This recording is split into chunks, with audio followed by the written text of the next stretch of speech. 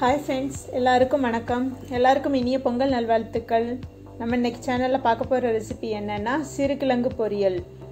வாங்க எப்படி செய்கிறதுன்னு பார்க்கலாம். அதுக்கு முன்னாடி சேனலை சப்ஸ்கிரைப் பண்ணாதவங்க ரெட் கலர் சப்ஸ்கிரைப் பட்டனை ப்ரெஸ் பண்ணி சப்ஸ்கிரைப் பண்ணிடுங்க தை மாதத்தில் மட்டும் அதிகமாக கிடைக்கிற இந்த சிறுகிழங்கை எல்லோரும் செஞ்சு சாப்பிட்றதுக்கு மிஸ் பண்ணிடாதீங்க நம்மள பலர் இந்த சிறுகிழங்கை வாங்கி தோல் உரித்து செய்கிறது ரொம்ப கஷ்டம்னு நினச்சிட்ருக்கோம். இந்த வீடியோவை பாருங்கள் ஈஸியாக செஞ்சிடலாம்.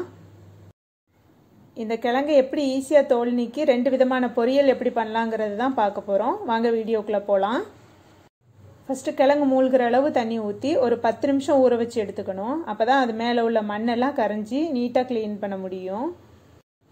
பாருங்கள் கிழங்கு மேலே எவ்வளோ அழுக்கு இருக்குன்னு. அந்த மண்ணெல்லாம் போகிறதுக்காக ஒரு பத்து நிமிஷம் ஊறட்டும்.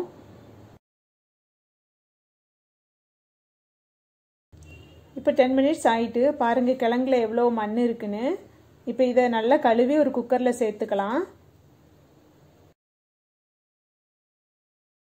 கிழங்கு மூழ்கிற அளவுக்கு தண்ணி ஊற்றி லிட்டை க்ளோஸ் பண்ணி ஒரு விசில் மட்டும் வச்சு எடுத்துக்கணும்.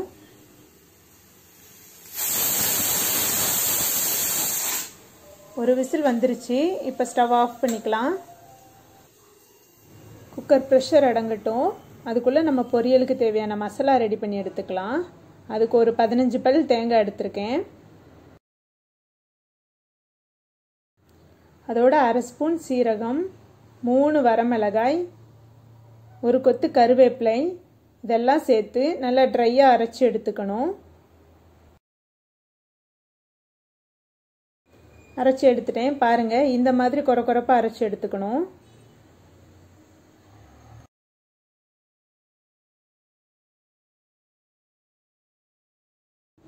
குக்கர் ப்ரெஷர் அடங்கிட்டு இப்போ ஓப்பன் பண்ணி பார்த்துடலாம் பாருங்கள் இந்த மாதிரி லைட்டாக வெந்தால் போதும். இப்போ கலங்க தண்ணியை நல்லா வடித்து எடுத்துடலாம்.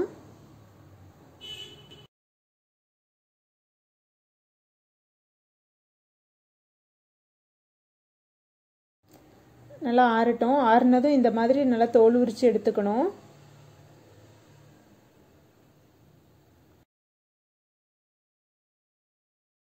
இந்த கிழங்கு ரொம்ப சாஃப்டான கிழங்கு தான். அதனால் ரொம்ப வேக வைக்கக்கூடாது குழஞ்சி போயிடும் ஒரு விசில்லே அது நல்லாவே வெந்துடும் தோல் உரிக்கிறதுக்கும் நல்ல கரெக்டான கன்சிஸ்டன்சியில் இருக்கும்.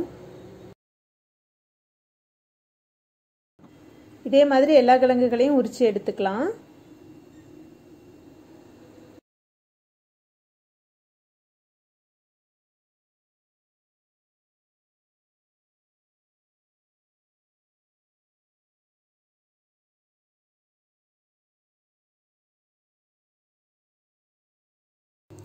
எல்லா கிழங்குக்கும் தோல் உரிச்சு எடுத்தாச்சு. இதனால் சின்ன சின்ன பீசஸாக கட் பண்ணி எடுத்துக்கணும்.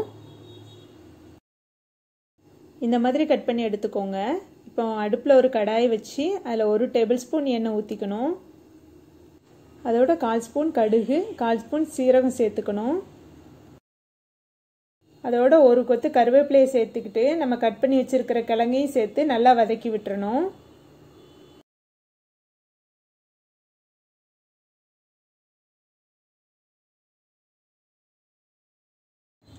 கிழங்கு குக்கர்லேயே ஒரு செவன்ட்டி ஃபைவ் பர்சன்டேஜ் குக் ஆகிட்டு என்னோட ஒரு டுவெண்ட்டி ஃபைவ் பர்சன்டேஜ் மட்டும்தான் குக் ஆகணும். அதனால் நல்லா வதக்கி விட்டுக்கிட்டே இருந்தால் போதும்.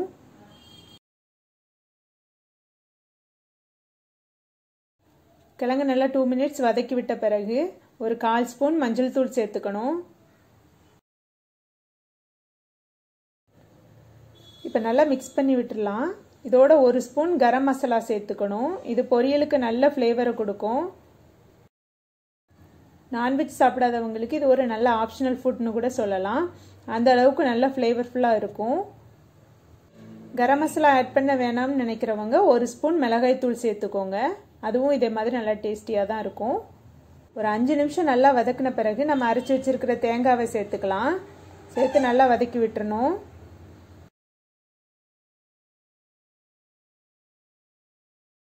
சப்போஸ் நீங்கள் கரம் மசாலாவுக்கு பதிலாக மிளகாய்த்தூள் ஆட் பண்ணுறீங்கன்னா மசாலாலே நம்ம வரமிளகாய் ஆட் பண்ணி இருக்கிறதால பார்த்து ஆட் பண்ணிக்கோங்க காரத்துக்கு தகுந்த மாதிரி.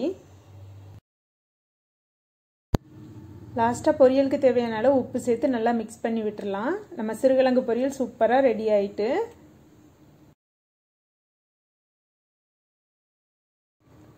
இந்த மெத்தட் உங்களுக்கும் பிடிச்சிருந்ததுன்னா இதே மாதிரி நீங்களும் ட்ரை பண்ணி பாருங்கள் ட்ரை பண்ணி பார்த்துட்டு எப்படி இருக்குன்னு மறக்காமல் கமெண்ட்டில் சொல்லுங்கள் உருளைக்கிழங்கு டேஸ்ட் பிடிக்கிற எல்லாருக்குமே இந்த மெத்தடில் இந்த பொரியல் பண்ணிங்கன்னா ரொம்பவே பிடிக்கும். ஸ்பெஷலாக குழந்தைங்களுக்கு ரொம்ப பிடிக்கும். இன்னொரு மெத்தடில் பொரியல் எப்படி பண்ணலாங்கிறத பார்க்கலாம். வாங்க. சிறுகிழங்கை வேக வச்சு செய்கிறதுக்கும் இந்த மாதிரி செய்கிறதுக்கும் டேஸ்ட் ரொம்பவே வித்தியாசம் இருக்குது ஆனால் வேக வச்சு செய்கிறத விட இப்போ செய்ய போகிறது தான் ரொம்பவே டேஸ்டியாக இருக்கும். இதே மாதிரி ட்ரை பண்ணி பாருங்கள் இந்த மாதிரி தோல் எடுக்கிற முறை தான் நம்ம பாட்டி தாத்தா காலத்துலேருந்து பாரம்பரியமாக நம்ம ஃபாலோ பண்ணிகிட்டு இருக்கிறது. அதுக்கு ஒரு துணியில் கிழங்க தட்டி இந்த மாதிரி தட்டினீங்கன்னா போதும். அதோட தோல் தனியாக கிழங்கு தனியாக உறிஞ்சி வந்துடும் பாருங்கள்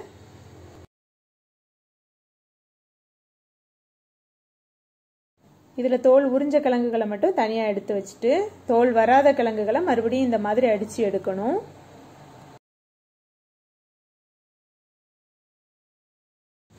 இதே மாதிரி எல்லா கிழங்குகளுக்கும் தோல் உரியிற வரைக்கும் இந்த ஸ்டெப்ஸை திரும்பி திரும்பி செஞ்சுட்டே இருக்கணும்.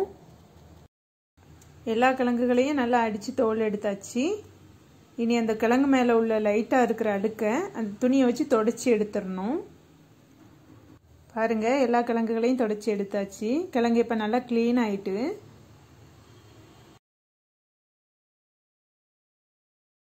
இனி ஒரு கத்தியை வச்சு அதோட இடுக்குகளில் இருக்கக்கூடிய வேற கிள்ளி எடுக்கணும்.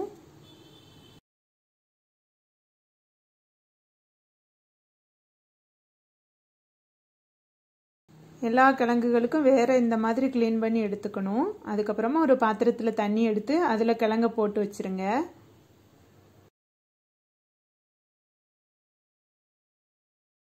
நல்லா நீட்டாக க்ளீன் பண்ணி எடுத்தாச்சு. இனி இதை குட்டி குட்டி பீசஸாக கட் பண்ணி எடுத்துக்கணும். எவ்வளோ முடியுமோ அவ்வளோ சின்ன பீசஸாக கட் பண்ணி எடுத்துக்கணும். அப்போ தான் சீக்கிரமாக வெந்து வரும். எல்லா கிழங்குகளோட நேச்சருமே கட் பண்ண பிறகு அதோட கலர் சேஞ்ச் ஆகும். அதனால் முடிஞ்ச அளவு ஸ்பீடாக கட் பண்ணிக்கணும். இல்லையா கட் பண்ண பிறகு தண்ணிக்குள்ளே போட்டு வச்சிடணும். நான் ஸ்பீடாக கட் பண்ணுறதால தண்ணிக்குள்ளே போட்டு வைக்கல. உடனே பொரியல் செஞ்சிட போகிறேன்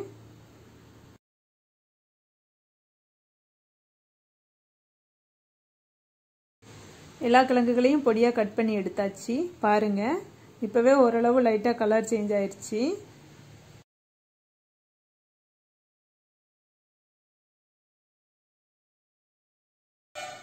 இப்போ ஸ்டவ்வில் ஒரு பாத்திரத்தை வச்சு ஒரு டேபிள் ஸ்பூன் எண்ணெய் ஊற்றிக்கணும் அதோட கால் ஸ்பூன் கடுகு கால் ஸ்பூன் ஜீரகம் சேர்த்துக்கணும்.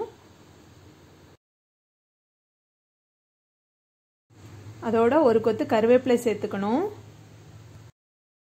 இப்போ கட் பண்ணி வச்சிருக்கிற கிழங்க சேர்த்துக்கலாம்.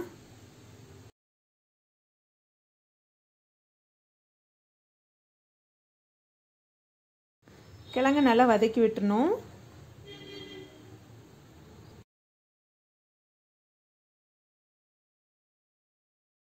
இப்போ பொரியலுக்கு தேவையான அளவு மஞ்சள் தூள் சேர்த்துக்கணும்.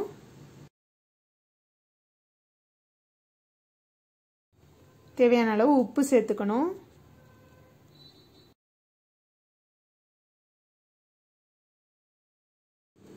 கிழங்கு எண்ணெயிலே வதங்காது. அதனால் தேவையான அளவு தண்ணி ஊற்றி தான் வேக வைக்கணும். இப்போ தண்ணி ஊற்றிக்கலாம்